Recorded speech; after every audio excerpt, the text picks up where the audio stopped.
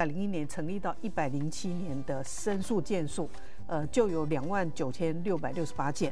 那进入到评议的呢，有一万四千多件。呃，光是一百零七年呢，申诉了就五千多件，评议的呢有一千八百。